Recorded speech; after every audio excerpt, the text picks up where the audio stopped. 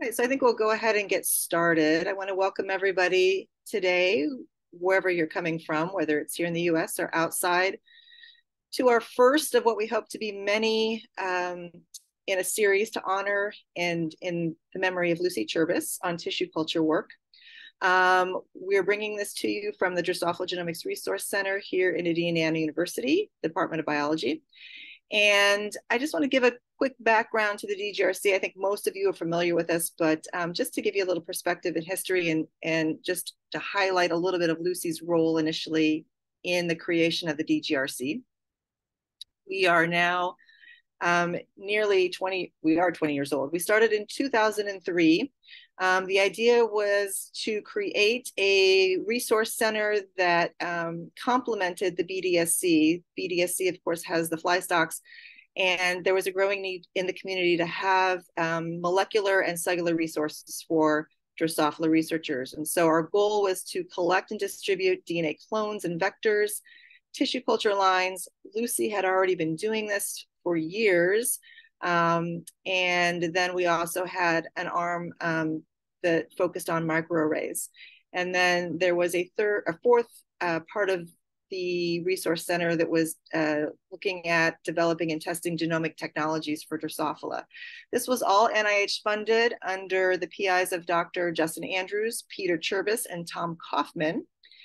And in those early years, the three main parts of the DGRC, the clones and vectors, the cell lines, and the microarrays, were started by myself, Lucy Cherbas, and Justin Andrews. I was in charge of the clones and vectors, and we estimated at the time we'd have maybe 100 to 200 vectors and around 10,000 cDNAs. Lucy anticipated maybe getting up to 100 tissue culture lines. She had maybe 20 here at the time.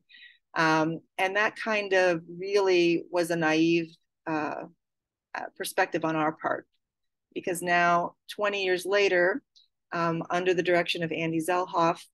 Um, we have over 400 vectors, actually over 500 vectors now, or 600, a million clones. Um, Arthur has taken over Lucy's position, and we now have over 300 cell lines.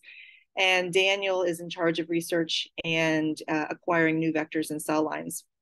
We've really grown um, substantially in the last 20 years, way beyond what Lucy and I ever visioned would happen.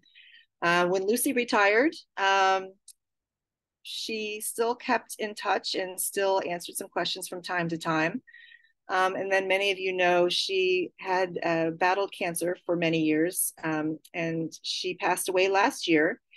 And in her passing, um, one of the things that uh, we thought would be really nice is to find some way to honor her. And so creating this uh, seminar series that focuses on the tissue culture lines was the way we found uh, to do this for her. Um, she was extremely passionate about tissue culture lines. I knew her as a graduate student. Um, I worked alongside her and she mentored me as a postdoc in tissue culture cells. And then I had the honor of being a colleague with her in the DGRC. Um, she has an had an amazing um, handle on on all of the lines that we had and uh, was really pivotal in, in making these lines become very useful to the, the Drosophila community. So with that, I'm going to turn it over to Arthur. He is going to give a little bit more background on Lucy's work, and um, that will lead into Mandy's talk. So we want to thank you guys for joining us today. And Arthur, I'm going to stop my screen and you can take it over. All right. So uh, good morning, evening and night for some of you there. Um, my name is Arthur Luher, one of the associate directors here at the DGRC. And I'm not going to talk so much about Lucy's work, but um, I want to feed that into uh, introducing Mandy, our speaker today. So um, I'm here to introduce Professor Emerita Amanda Simcox as our first speaker of the Lucy Cherbas Lecture Series. Um, Mandy received her bachelor's and doctoral degrees from the University of Sussex in the UK and her first foray into Drosophila cell culture was during her graduate days with Professor Jimmy Sang, a pioneer who designed the Shields and Sang M3 media, which is still very widely used today. Um, Mandy made her first cell lines from a Newton line in the Sang lab, and she went on to a postdoctoral position with uh, Professor Alan Shern at Johns Hopkins University, where she continued to make hundreds more uh, mutant lines using the classical methods. Uh, and then Mandy started her lab at OSU, where she progressed up the ranks. There, she continued to come up with more effective methods for making new cell lines. Um, her most recent work produced a set of uh, lineage-specific cell lines. So Mandy loved sharing her science, and we are very honored today to have her share her insights with us. And I, one thing that, um, if we think about how Lucy's work inter intersected Mandy's work, uh, one part is when I was a graduate student here, and what happened was that I saw a whole bunch of development of the cell lines that has got the ADP insertion lines, the docking sites lines. So uh, Lucy here at the DGRC created a whole set of cell lines with the ADP docking sites. And on the other side, Mandy's also created RAS lines that has got the ADP uh, sites as well. So um, with this, I welcome Mandy to speak to us on uh, the science and art of the software cell culture. So please, Mandy. Great. Thank you so much, Arthur. Well, it's really quite a pleasure to see everyone who's joining this. It feels like a friend meetup. So I'm delighted to, to see so many people that I know on this talk. It's absolutely my privilege to be able to honor Lucy through being part of this lecture series and present um, some recent and past work that we've been doing.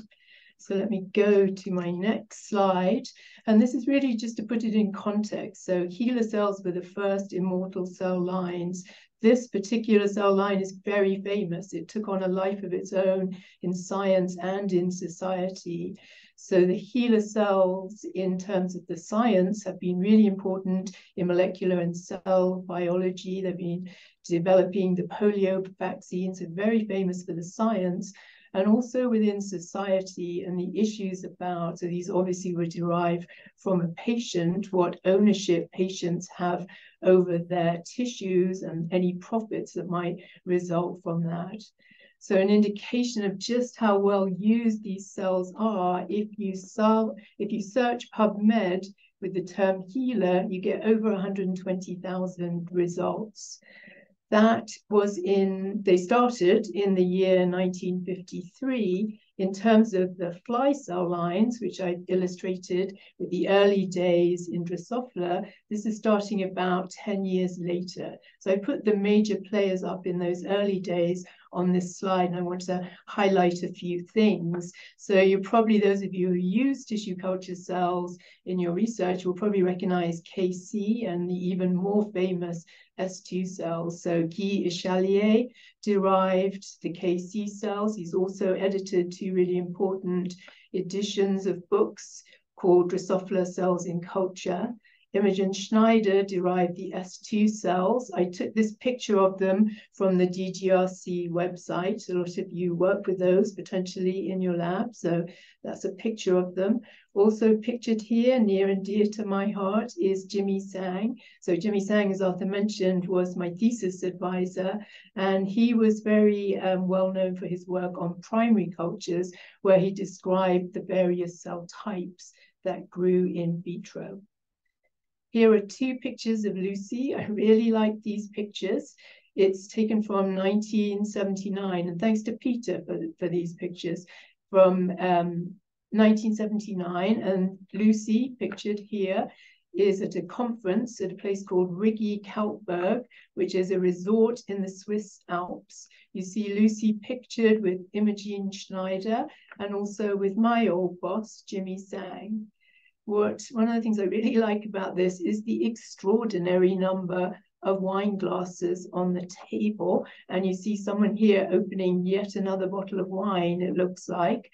Also, though, pictured here are two other bottles, and these bottles contain insect cell medium. So both Imogen Schneider and Jimmy Sang are famous for the formulations of insect medium that people use in their labs today. Schneider's medium and Shields and Sang M3 medium just to cast your mind back to the old days, I remember having to go and weigh out all the constituents of M3 medium. So let me tell you, you're very lucky that this is commercially available now.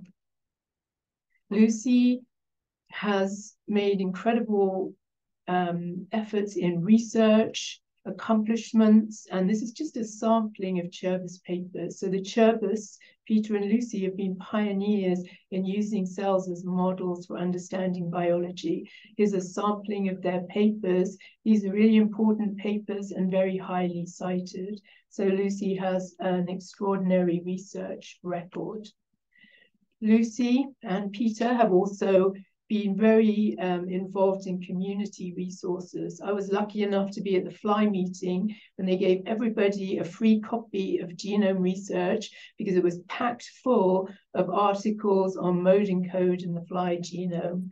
If you take my copy, and this is it sitting on my desk, and let it open, it naturally opens to this paper. And this is the paper by Lucy and Peter and others on the transcriptional diversity of 25 cell lines. And that's a really important reference for the community.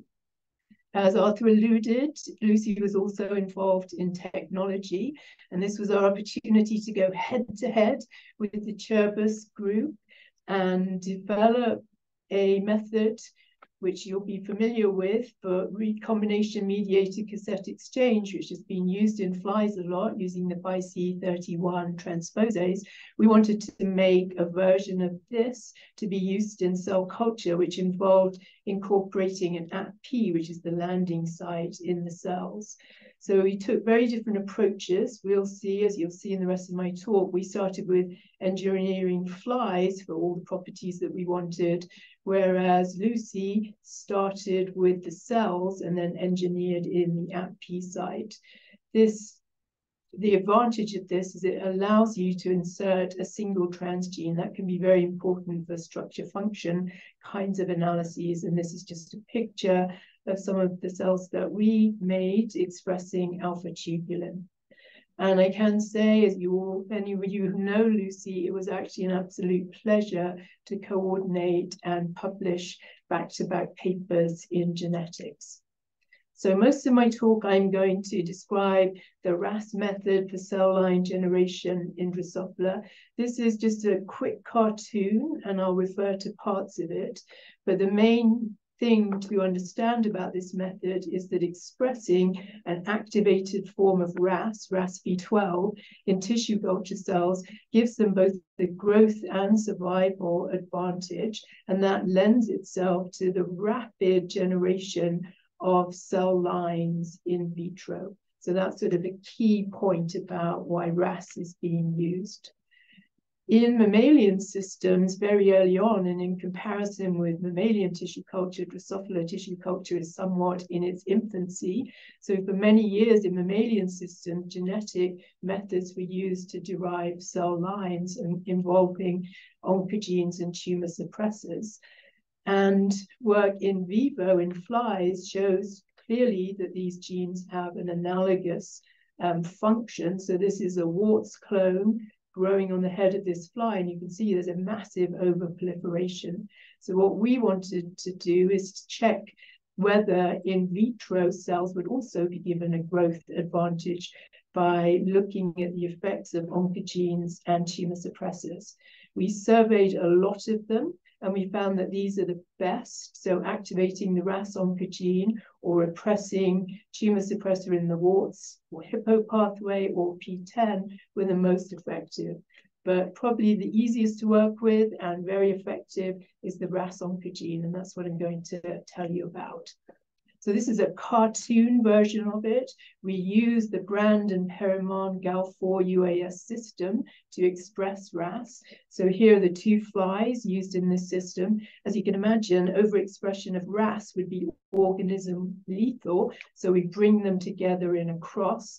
So in this case, GAL4 has been expressed in all cells using the ACT5C enhancer. And then here's the RAS gene as the UAS target gene. So in this egg, every cell in the embryo is expressing the RAS gene under the influence of GAL4, which binds and turns it on. Every single cell in this embryo expresses RAS. So what you do with those embryos, and this just shows you the cross here, is cross the flies together, collect the embryos, homogenize them, plate them in a primary culture, And then really in quite a short period of time, these cells have reached passage 10 and can be considered immortal. So it accelerates the generation of cell lines. These are views of primary cultures or early cultures showing you the dramatic effect of RAS expression. This is a control culture at about one month. And you can see there's some, a patch here of proliferating cells.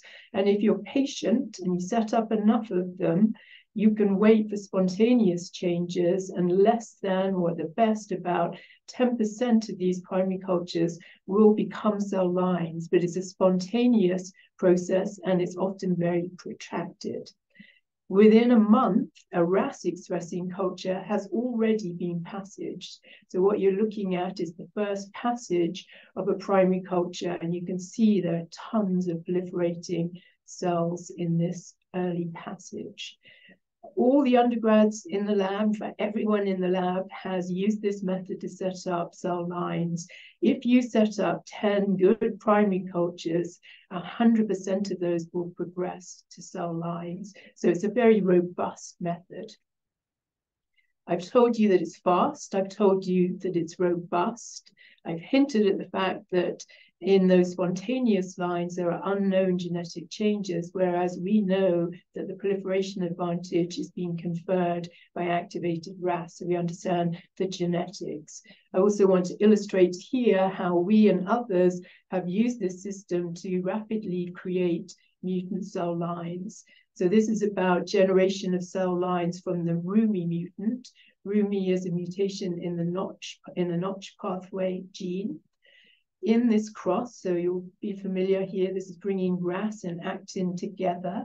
And here they are. So this embryo is expressing RAS. It's also homozygous for the Rumi mutation. So you'd set up primary cultures, derive lines, and then they're examined down here by Western blotting. And you can see two of these Rumi mutant cell lines don't express the Rumi protein, whereas the control does. So very rapidly, you can derive pure lines of mutants of your choice set up in the genetics of the flies. What I'm going to focus on mainly is our second generation of the RAS method.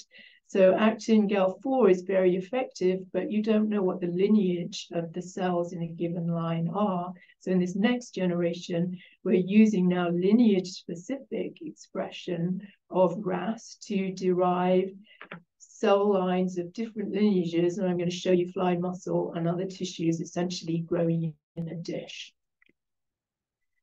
Arthur said that when I was in Jimmy Tsang's lab, that's when I made my first cell line, perfectly true. But I was actually a developmental biologist, strictly, really, at that time. And this is the stage embryo that I worked with. This is a scanning EM of an early gastrula embryo. And what I did for my thesis work is transplant cells from one end of one embryo to the other end of another embryo. So we know from that and lots of fate mapping and other kinds of work that even though these cells look very homogeneous, they are fated to particular types. And I'm going to color code that here. So this blue patch up here are the cells in the embryo that are going to go on to form the epidermis. These cells will become the nervous system, these purple ones. And down here, keep an eye on these ones. These pink ones will become the mesoderm. So I've drawn a muscle cell.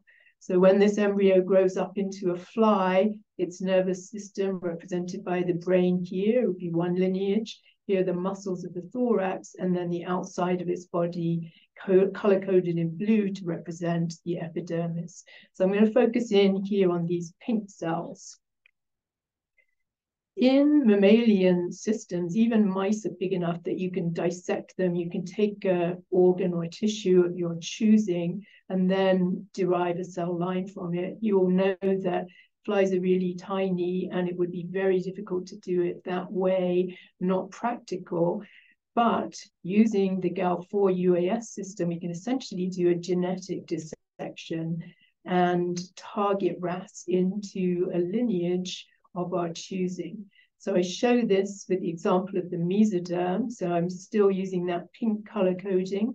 So in this case, the GAL4 gene is only expressed in mesoderm cells under the control of this 24B enhancer. So what that means is that this cell down here, again, color-coded pink, that will become mesoderm, GAL4 is turned on and RAS is expressed. So these mesoderm cells are expressing RAS, whereas this other cell over here, which is destined to be the epidermis, RAS is not expressed. So that's the basis of the genetic dissection. This is what it looks like still in cartoon version, but to show you how it then works, here's this represents an embryo with the different cells, the different lineages. These would be dissociated, plated in a primary culture. And then as time goes on, because RAS gives mesodermal cells both a growth and a survival advantage, you start to see more pink cells. And if you follow them further through time, there's now a pure culture of muscle progenitor cells. In Drosophila development, there are different landmark stages that are regulated by the maturation hormone ecdysone, so the larval body form metamorphoses into the adult body form under the influence of the hormone ecdysone. What we wanted to do is try and recapitulate this in vitro by taking those progenitor cells and giving them, in fact, two doses of hormone and seeing whether they would mature into muscle cells. These are pictures of what they look like, plus and minus the hormone. These are the progenitor cells, the growing cells. They look very sort of bland. They're just these bipolar cells. Under the influence of ecdysone, however, they stop proliferating and they change radically in morphology.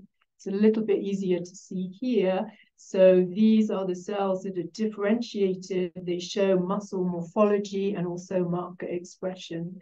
So this very beautiful picture made by Shane in the lab shows one of these in the middle here, one of these muscle cells you can see it's actually a fusion of two cells because there are two nuclei stained with DAPI, and the cell and all the cells in this field are expressing myosin heavy chain, which would be a marker of mature muscle. And then maybe even more excitingly, these cells actually spontaneously contract in culture. I can honestly say it was one of the most exciting days of my scientific life when we looked down the microscope and saw these cells moving. So they're going through the whole of muscle development in a dish under the influence of the hormone, and they're doing all the things that muscle cells in vivo would do, differentiating and becoming active. So what we also wanted to know is whether we could make cells from other lineages, and this is a paper that we published quite recently with our colleagues at DGRC and also colleagues at Harvard University. So I'm going to go through this paper, not like a journal club, but sort of using it almost like product sheets to tell you a little bit about these different cell lines, their characteristics, and then also some red letter text for protocol hints, because my understanding of this lecture series is to learn more about how to do tissue culture in your own lab. This is what they look like. I actually really like this figure from the paper because you can see that these cells from different lineages, glial, epithelial, muscle, actually look different morphologically. The glial cells are sort of long and spindly looking. The epithelial cells make this rather beautiful squamous epithelium. The muscle cells and these neuronal-like cells are a bit sort of more ordinary. They're these sort of bipolar cells. Down at the bottom here, you see the famous hemocyte-derived line S2 cells floating in suspension. We also derived a hemocyte cell line. Unlike S2 cells, though, our hemocyte line cells grow in these clusters, in these floating clusters in the dish. All right, so a little more on the different lineages. So these are the ones I've already shown you. They were generated by expression of RAS with 24B. And it allows me to make my first point that if you're thinking about doing this in your lab, choosing a GAL4 driver requires empirical testing because the obvious GAL4 line to produce a muscle cell line that we tried first was MEF2 GAL4. So this is a master regulator of the muscle lineage, but it did not, for reasons unknown to us, allow us to derive any continuous cell line. So plan on testing a number of different drivers for a given lineage. I showed you that the B8 cells, they were the ones in the movie that they contract. These are the RNA-seq data um, can, um, generated by our colleagues at DGRC and analyzed at Harvard. And what they show on this small section of that data are differentially expressed genes that are master regulators of various lineages. So this active muscle cell line expresses twist and nautilus, which you might expect for an authentic mesodermal cell. But it also illustrates another point. So this is another clone from the muscle lineage. You don't see expression of those cells. And these cells lost their ability to differentiate into active muscle. Cells change with extended passaging. So it's good husbandry to keep frozen aliquots at early passages and then return to those as you do their experiments. I describe work where both Lucy, the Chervis group, and our group have engineered APP landing sites. So this um, cell line has an APP site, so you could use RNCE to insert a transgene of interest. These are cells of the glial lineage der derived from RepoGal4. So Repo is a master regulator of glial cells, and um, we generated one line, one line only, and then we cloned it. And this again is the data for the, and you can see that two of the clones, so you have three clones from this parental line, two of them express glial cells missing two, which is a master regulator of glial differentiation. This was the work of Molly Josephoff, who was an undergraduate in the lab and a very determined person because she set up 45 primary cultures, but we had a very low success rate. We only have one line that has continued and showing, for example, expression of repo, which you expect for glial cells. Molly tried to modulate RAS expression, for example, co-expression of the GAL80 um, repressor, and also inactivating tumor suppressors, but it appeared not to change the success. It so happens that this one line that we have does express and uh, does downregulate the tumor suppressive BRAP, but the role of that, if any, in the generation of this cell line is obviously unknown because we have one example. These are epithelial cells. They're derived from expressing RAS with the BTL GAL4 driver. So BTL is expressed in tracheal epithelium. You can see the cells here, and at their surface, they're expressing the marker of epithelium E-cadherin. So you can see they're forming this sheet and expressing this marker gene at the surface. In contrast, S2 cells show just diffuse expression of E-cadherin throughout the um, cytoplasm. Tracheolus is a master regulator of um, tracheal development. And you, you, can see that the line that I show you here, BTL3, expresses that gene. But it also allows me to bring to your attention that these cells sometimes can express unexpected genes. These are cells growing in culture. They're not an exact match. They're in vivo counterparts. So this this um, line actually expresses a gene that you would be more characteristic of the mesoderm. Luckily, you have these data. These are all available um, to, to look. So if you choose to work on a particular line, you can see its gene expression profile. The neuronal like line is actually different. So again, we went in thinking LV and another pan-neural GAL4 would be the ideal driver to produce neuronal lineage cells, but we didn't derive any lines from that. But we knew that broad expression of, of RAS with something like actin 5C did produce all different kinds of cells in the cultures. So we actually cloned, use single cell cloning, so a clonal derivative of broad expression, and then we've classified it as neuronal based on its expression pattern in RNA-seq and also on morphological data. And I show you some of that here. And this is um, staining the cells with 22C10, which recognizes the FUTS gene. And you can see even in this undifferentiated sample, some pretty neuronal looking like cells. When you add ecdysone to these cells, you can see a, an upregulation and reaction with 22C10. And I hope you can see that more of these cells are putting out these dendritic looking processes. Something else about this line is that RAS expression is actually regulatable. So this is a gene switch GAL4, and it's only active. So RAS is only switched on when RU48 is um, present in the medium we hoped and we thought that if you use this kind of a system and you switch RAS off, the cells might then differentiate. So you're going to block proliferation and encourage differentiation. Turns out, in fact, that was not the case. And the way to get these cells to differentiate is to use the differentiation hormone ecdysone. This is the last one that I'm going to show you, and I should say that neuronal one and this one too were generated by Nikki in the lab. This also is a clonal derivative of broad RAS expression, and it's blood cell type based on expression data. It's an extremely strong match to single cell RNA-seq data from hemocytes. It too has a regulatable version of RAS, so a gene switch driver. And you can see over here on this growth curve that in the presence of the inducer, the cells grow, and if you turn RAS off, they remain quiescent. I think these are very beautiful cells. They grow in these clusters suspended. This is an early culture. As time goes on, these clusters get bigger and bigger, and they make these big rafts of floating cells.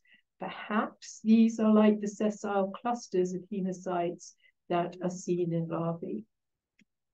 So that was the end of my set of product sheets. So what's next? We hope these cells will be very useful in both low and high throughput analyses that the community will conduct. We think they'll be very useful for cell biology because if you have cells in culture, you can do very precise manipulation and very clear imaging. We also think high throughput will be important in these cells. Genetic screens. So if you remember, we've engineered many of them with an APP site, so that might help doing RNAi or CRISPR screens and compound screens. And what we think will be different about these screens is that now you can conduct them in a much more physiological context in a relevant cell type.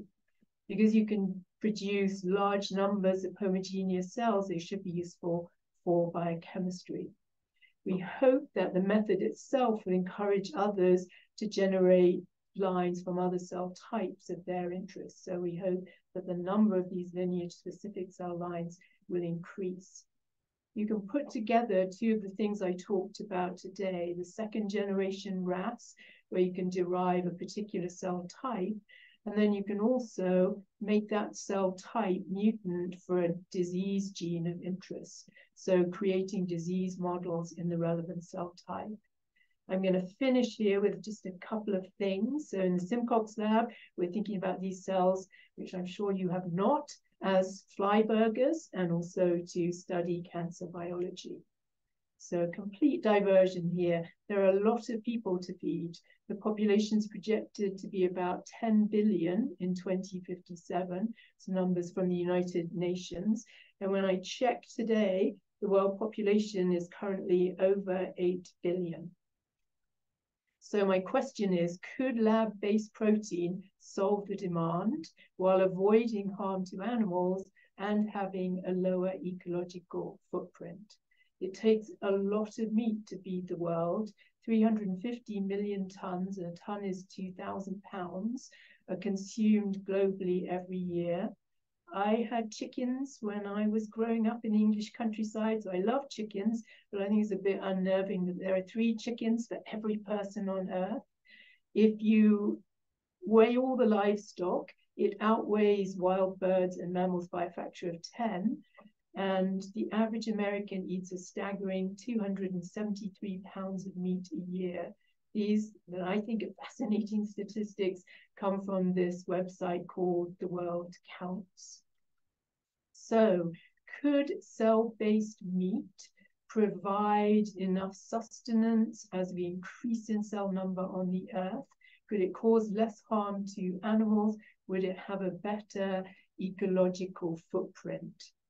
You may have heard more about lab based meat in the news recently because the FDA just approved the first chicken product that can be sold to consumers. So, a company called Upside Foods is one of the leaders in this market. And you can actually go to a few restaurants in, in the US and buy one of their lab based chicken dishes. The very first, and this cartoon shows the, the burger being generated in a dish here and eaten here. The very first cell based burger cost $280,000. So clearly, costs have come down a lot since then and will have to come down a lot before you're going to go to your supermarket and buy it. While this may not seem terribly appetizing in US culture, insects are in part of the diet of about 2 billion people in the world. That's a lot of people. I've shown you the first example of invertebrate cultured mussel. We wonder if there's a niche in this market for fly burgers. We think that growing insect meat has the advantages of a simple pipeline and a low cost. It's easy to grow insect cells. They don't need incubators. They don't need CO2. So it might actually be a cost-effective product. Stay tuned. And now I want to highlight how we're using a RAS model to study tumor dormancy. So tumor dormancy is a huge problem. Cells leave the primary tumor, sometimes even before it's been detected, and they lie dormant at distant sites. This is often the bone marrow. They can remain there for years and even decades. But if some signal or change in the local environment reactivates those dormant cells, this underlies metastatic relapse and the regrowth of the tumor at distant sites. They're not doing nothing while they're dormant. They have characteristics, signaling, signatures, and gene expression patterns so what we need is new models so that we can identify these specific pathways, target those pathways, and then specifically kill dormant cells. We hope that the gene switch RAS cells might be such a model. So I'm going to show you that first in this cartoon. So these are the gene switch RAS cells. So remember that these cells are RAS is only expressed, in this case, when the flies eat the drug RU486 the um, tumor cells are also expressing under the same control GFP, so they glow green. This is two flies that were injected with tumor cells on the same day. The fly, the female fly at the top, is the cells have been kept dormant for 17 days because the fly was fed ordinary food. The fly down here, the cells were kept dormant for eight days, and then the the fly was transferred onto food with RU486 to reactivate RAS. And nine days later, I think you can see in this fly that's glowing green all the way down to its head, these dormant tumor cells have been reactivated, and this fly will shortly succumb due to the tumor version. So we hope this model might be important for discovering how we could target cells while they're dormant my title said it would also involve the art of Drosophila cell culture. And I've taken here just a paragraph from Imogene Schneider's paper describing the generation of the S2 cell lines.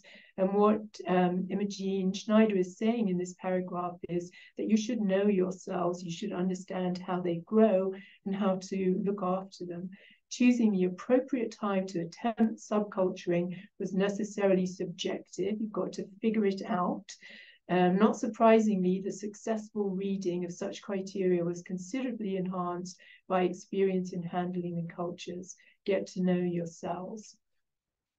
This is um, that you've seen before, showing these different morphologies. The point I'm making with this slide is that over time, these cells reach quite high confluent density. So they're looking very different now at the end of a passage. These S2 cells, and here they are, this is a confluent culture, they're incredibly hard to kill. You, you know that probably from your own experience. However, with these cells, which you have to use trypsin for because they're adherent, so you use trypsin when you passage these cells, when you dislodge these cells and then seed them into a new culture. And the number one and the number two way to kill off cells is either to passage them too soon or passage them too late. So you must learn from experience and probably reading our paper, because we have all of those pictures and we talk about confluent densities, how to look after these cells. So let me finish by thanking everybody, the people in my lab whose names I put up. Shiva, who derived a lot of these cell lines. Shane's been working on the muscle cells. Nikki derived the neuronal and the blood cell line. Molly derived the glial cell line. Jack and Shane have been working on the tumor cell project. And then for the next gen RAS method, our colleagues at Harvard, Norbert Perimon, Stephanie Moore, Claire Hu, Wei Hang Chen, and then your own at the DGRC, Andy, Arthur, and Daniel. And let me do a special call out at the bottom here to Alan Shern. I haven't looked who's here, but Alan said he might be. And it was in Alan Shern's lab, as Arthur mentioned, that I first did my real foray into cell culture and I made a ton of cell lines from temperature sensitive mutants. So thank you, Alan, for getting me started on this. And then let me finish, of course, by showing you another picture of Lucy. You actually saw this um, in Chris's talk. I really like this picture of Lucy. It reminds me of how wonderful it was to see Lucy at fly meetings I would always seek Lucy out because she was the absolute authority from all on all things Drosophila cell culture. So thank you very much, Lucy, for your contributions to cell culture. You will be sorely missed. And thank all thanks to all of you for your kind attention.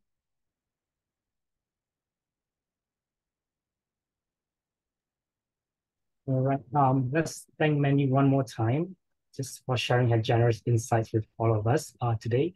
Um, so the floor is open for Q&A. You can put in your chat uh, question in the chat, or if you raise your hand, you can also ask directly if you'd like to. Um, so yes, I see Brian, right, right, uh, raising his hand. Brian, please. Yeah, that was wonderful. Thank you for sharing, and I can't think of a better first talk to honor Lucy. Um, Thank you, Brian. Yes. So I, my question is about heterogeneity within a culture. Yes. Um, both expression and like genomic heterogeneity, like gene in, genome instability. And I'm thinking of it not just as maybe a challenge if you want homogeneous cells in culture, but to what extent it models genetic heterogeneity of tumors in vivo when you inject into flies. So can you to like the heterogeneity of expression or yeah. genome within a culture? Yeah. Thank you. Yeah, so I, I, I think that's a very valid point, and it's one that we have not looked at. The cell lines that we've derived, they're clonal derivatives, so they're single cells, but then of course they grow and change. If you look, for example, at karyotypes, and I know that's a very crude indicator, but if you look at the karyotypes of, say, three clones from the same parental cell line, they have the same karyotype. And I think that implies that there's very strong selection and probably even the parental cell lines are actually clonal but of course there's going going to be variation but we haven't looked for example at a clone over time to see what what changes, but absolutely expect that those would occur. We have not looked at it systematically. I think it's an interesting question in terms of tumor dormancy, for example. We have grown those cells dormant. I grew them myself actually for like three weeks. I mean, they'll sit in the dish for a really long time, and then you spontaneously see colonies of growing cells. So they've acquired ways to get around the block in RAS and to escape dormancy. So it could actually be a very good model for that. Yeah partially answered your question i hope no no that's very good no that's that's that completely answers my question are those i'll just are those cells senescent by the way the dormant ones? Are they, sorry? Are they, do they senesce or how do they arrest? no, they're, they're, they're dormant and not senescent. Yeah, so if you look at their signaling profile, it looks like mammalian dormant cells. So both the um, signaling and gene expression profiles are very similar. So as always, Drosophila turns out to be a really good model for mammalian systems. Yeah. Thank you. But Thank not you. senescent. They're not senescent. You add back RU and they're boom, they're dry, they're growing again. Thank you. Yeah. We have another question, and um, this is from Anonymous. Um, so uh, the question is, over time, clones can lose the ability to express genes. Is this something you've noticed in all cell lines? And is there a recommended period of time of that cells should be used before thawing a fresh aliquot? Yeah, I mean, it's it's a very good question. It's quite hard to regulate yourself because it's easier just to keep on using the lines than going back to frozen stock. I think it's really important to do, and, and maybe our colleagues at DGRC and, and Arthur could say what he does. I mean, maybe five passages. We grew, and these, these cells grow to staggering numbers. I mean, hundreds of passages. And, you know, we had this G1 line at an early passage and then a much later passage, and, you know, they stopped twitching. So it's just enough to tell you either you know go back to earlier passages systematically or test them by some means to know whether they have changed and then go back but yeah it's good husbandry and i think it's something you see in the mammalian um, research field where there's been a, a, a big stir about rigor and reproducibility in cell lines. So it really is good practice but i can't tell you an absolute number. Yeah. Right. Um, yes, so there's the next question from um, Chun Han, and he was asking, um, can you comment on the difficulty of culturing these lines compared to S2? Um, yes. Um, I think I'd refer you to Clementine Schneider's comments. You have to put in a bit of um, looking at these things. I mean, I don't think they're difficult to look at everyone in our lab has been able to propagate them. But if you're very used to using S2 cells, as I mentioned, they're very hard to kill. You have to use trypsin. These cells are adhering to the tissue culture flour. So you must use trypsin to dislodge them. And then we dilute them maybe about one in five. And then in about five to seven days, they'll be ready to passage again. There are no tricks you just have to be cognizant of what the cells are doing. And when you know you've gone too far, they'll start looking sort of ragged. And actually, as you trypsinize them, our trypsinizing solution has a pH. You can use a pH indicator in there. You'll see that they've really acidified the culture medium, and you know that's very unhealthy for cells. Some of these are really metabolically active, and they will they will acidify the medium if you leave them too long they you know essentially die yeah yes. I, I can't offer you shortcuts i can only encourage you to to look and learn and and of course you'll be able to look after these cells and um, was... so that I, I agree with Mandy um, in terms of handling those uh, lineage specific lines it's really a matter of getting getting to know them a bit better first because we tend to treat S2 lines as almost indestructible. But this guys, you really need to um, just be familiar with them first to begin with. And things like morphology, uh, things like density, those are going to be very important. There was a second part to that question. He was wanting to know um, if, for example, they grow in M3 media. What what media are you using, and is there yeah. serum Yep. So we grow them in Schneiders, which seems very disloyal to me now, but I know at the DGRC they grow them in M3 medium. We have um, followed actually the lead from our DGRC colleagues and tapered off serum, so you can taper off serum. You know, for the, depending on the kind of experiments you you do, we use 10% serum. We we just keep the cells happy in that way. But you could, if you have a reason to, you could taper the serum for sure. So just one quick thing about that those lines. Um, the lineage specific lines we have not transitioned them to M3 media at the DGRC. We have kept it the same way, growing them in Schneider's oh. media. Um, if we want, if we would like to change them to transition them to M3, I definitely do not suggest directly changing to M3, even though the compositions are roughly similar, but uh, a gradual change is what I would recommend over at least two to three passages. Okay, so we have uh, next question from Justin Bosch. And his question is, um, what media do you use to isolate the tissue-specific cell lines? And I suppose that is Schneider's media. And then for cases where you had difficulty isolating tissue-specific cell lines, did you test alternative media to see if this improves uh, the, the, the, chances of getting new lines? Yeah, no, I, I'll, I'll be honest, I don't think it would make the difference. I think it's something about the level of RAS expression or the specific cells. The MEF2, GAL4, I mean, you can derive primary cultures, but if you look at those primary cultures, the so this has GFP, so you can follow the lineage. The muscle, so the GFP positive cells in those cultures look very abnormal. They're sort of floating. So maybe MEF2 is just overkill RAS expression, and that's why you don't get a cell line. We haven't looked systematically at the failures because 24B is incredibly effective. And these are adult muscle precursors that have been targeted in the 24B line. So it, it works so well that we didn't investigate further why MEF2 failed. But I doubt very much it would be the formulation of the medium. And Justin has a follow-up question. For the fly burgers, are there FDA regulations that will restrict people from eating meat that are genetically expressing fetal transgene? Yeah, good point. Don't tell any potential investors that they are GMOs.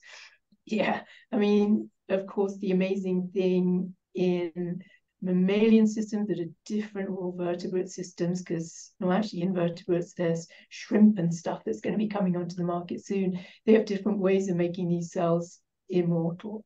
Maybe pet food.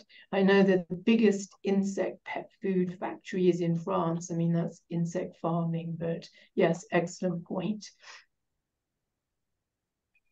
Hey um steve rogers has one question have you tried combining cell lines that might interact in vivo? Say, for example, neurons and glia to recapitulate uh, heterogeneous interactions like an organoid?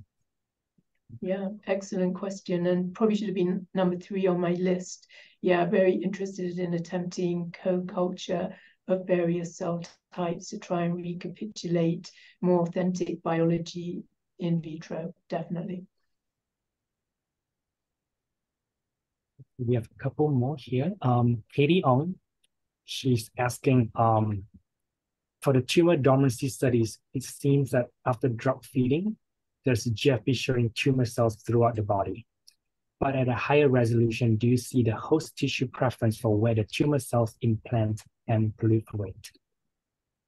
Mm, we haven't done that kind of study. So remember, flies do have an open blood system. So yeah, they're pretty much throughout. We did, when we originally reported the RAS method, we did look to see that these cells actually do infiltrate host tissues. I, I know nothing about whether there's a um, preferred cell type, but you know the tumor burden is such that just growing free in the abdominal cavity that's going to be enough to, to kill the host. But you can keep them dormant for very long periods of time, and the flies live out a more or less normal life. And this question um, from Katie reminds me also of um, Bruno Lemaitre's um, recent work and showing how those cells, when injected, changes in expression pattern as well some of the rest lines, but not the lineage specific lines, but the early, earlier rest lines that we have injected into flies. Okay, so um, the next question from Ting Ting Su. Have you tried making cell lines from larvae? And do you plan to? Larvae. Um, you know, we, we, we did try pretty hard trying to make them from discs but you mean you know choose well the thing about larval tissues, so fat body for example is, that they undergo you know endoreduplication so you don't get proliferating cell types. So in the ras cultures the fat cells become absolutely enormous and you can stain them you know with a lipid stain. So i'm not sure what larval cell type you're thinking of but depending on how you know they um, divide, that would that would be a barrier. We know, for example, that the blood cell line, if you add ecdysone, those cells appear to die. So we think they're probably a larval cell type. So in the presence of ecdysone, those cells actually lyse. Yeah. Um, next in question fact, we have. Oh yes, go ahead, Mandy. I'm just going to say that in our experience, early embryos are the best to use to initiate. I was interesting when I reread Schneider's paper, these those were actually very advanced embryos that they used. But in terms of pure success rates, young embryos seem to be better. And I think you'll see that throughout the literature. When you say young, how young do you? Well, we do, do know, we do two collections. So we do one through the day at sort of, you know, ambient and one overnight at a lower temperature. We don't waste any embryos. So we set up primary cultures from both types, you know, both time frames. And I think if we really look back at our data, those short collections are a bit more efficient, uh, but either will work. Okay, um, we have one more question on uh, Dyson treatment. Um, okay, so the question comes from August Kanka. Uh, are these brief exposures that stimulate development of Dyson peaks? Do they correspond with that? And are all the tissue-derived cells responsive to Dyson? Yeah, so um, yes, we're mimicking what happens at the larval to adult transition. So two pulses of ecdysone each for about a day, separated by a day. And it seems to be, you know, if, if you give those um, mesodermal cells one pulse of ecdysone, they actually don't differentiate. So when we really mimic what happens in vivo, which of course you always should do, that we saw this dramatic change and activity. Do they all do something? Um, I just described one other type that actually dies the epithelial cells sort of pile up a bit more. I don't know if they're attempting to make some kind of 3D structure. Glial ones sort of form these lacy networks. Uh, neuronal ones look more neuronal. You'll see those pictures in our paper. Yeah, I would say they're all, doing something, but nothing as sort of outstanding as those muscle ones that actually twitched for us. But yes, they, they do respond. Okay. We have one uh, question from Rebecca Lee, and she has a basic question, maybe not really basic, but uh, she's asking, could you go over the reasons why you might use M3 versus Schneider's media? Because my old boss made it, um, but actually I don't use it, so I don't think I can do that. Um, we have, hmm, what have I seen? Almost nothing in the difference between the two. And we certainly have gone to and fro. And as Arthur was describing, you know, you can taper them down into the other kind of medium. I can't think of a reason why they're not more or less equivalent. Uh, we use Schneider's, and now I hear DGRC for these cells use Schneider's, but we have certainly grown them in M3. So I suppose you could choose the one you prefer. I have nothing empirical on differences. In, in at least in our experience, um, M3 media can be different for from different companies. So um, we tend to like to use Sigma M3, but um, given that it's currently in high levels of back order for a year now, um, we have tried tested other M3s as well, and so far okay. Mm -hmm. I, that's an excellent point, Arthur. And we in also instances of back orders desperately ordered from all other kinds of companies. And honestly, the medium was fairly toxic in some cases. Didn't quite force me to go back to weigh all the components But yes, I think that's probably settling on a company that you know the cells grow um, well in is more important than whether it's M3 or S2 Schneider's. Um, we have one more question, a follow-up question from Tin Tin Su. Uh, she is asking, is the expression of oncogenic RAS, does it trigger uh, for tumor cells coming out of dormancy in humans? Yes, there are RAS models of regulatable RAS that, yeah, you can, yes, the answer to that. Whether they've been looked at, uh, there, you know, there are not very many models of tumor dormancy in mammalian systems, and there isn't anything quite like this where you can really switch them to and fro from proliferating to dormant states. Uh, yeah, but certainly, you know, pancreatic cancers, which mainly involve RAS signaling. If you have a regulatable RAS, you can turn RAS off, and some of the pathways that come on are the same ones that we see. Yes. We have uh, one more question here.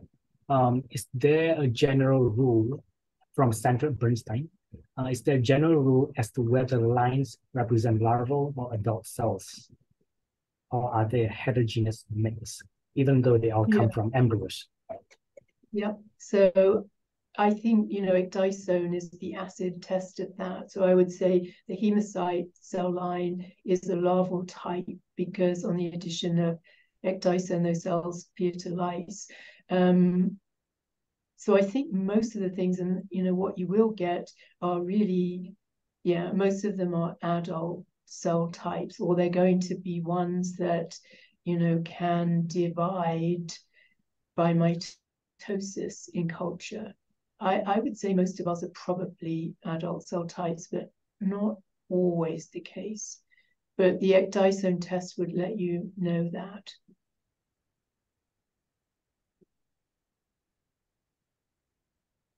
Um, I think we don't have questions in the list now. Great. Um, any questions from anybody else? So the recording, um, the talk today will be recorded and um, I'm gonna cut, edit everything and then have it as a link sometime midweek. I'm gonna send it out as a, um, email as well as putting it up on the DGRC website. So if any of your students or uh, colleagues that couldn't attend today, um, please direct them to this particular resource part. Um, there was there was a question earlier from Mandy about how often we will be doing this seminar series, and I think the goal is twice a year, so spring and fall. Um, and I know that we would welcome any uh, comments or thoughts on topics that you would like to hear or anyone you'd like to hear from. Um, our, our goal is to, you know, Lucy was very, very much um, hands-on in teaching people and i think this is the best way really to to honor her is to continue what she started and, and continue teaching people. So if there are things that you would like to learn um, please reach out to us and, and we'll work to help make those educational uh, things available to you whether it's a you know part of this series or making um, we're working on making some videos that will live on our website that help everyone out who wants to continue or to start using tissue culture work and if you feel you have something you want to share and you want to give one of these talks please contact us yes we have also prepared a short survey at the end of the seminar um, and some of it will be sent out as email as well. So we would appreciate any feedback or if you have any topics that uh, you have in mind, just type it in, in the comment section as well in the survey. And then, um, well, let us thank Mandy one more time for sharing her generous insights and with all of us today. Thank you very much, Arthur.